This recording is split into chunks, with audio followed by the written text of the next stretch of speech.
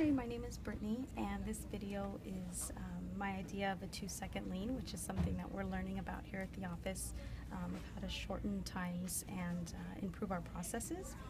Uh, so, my idea was I realized that when I came in for the day, I would take a lot of time opening up all of the programs that I use.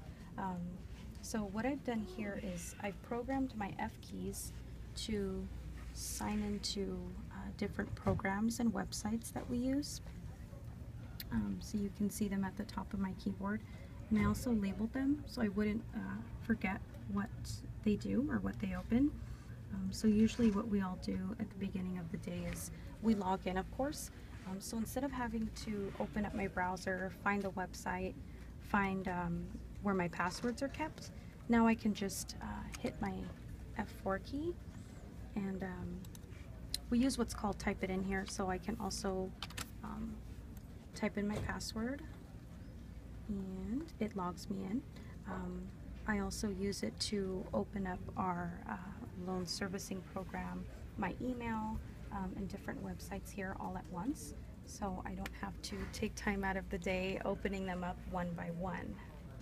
How much time is saved? Um, I would say about 10 minutes a day.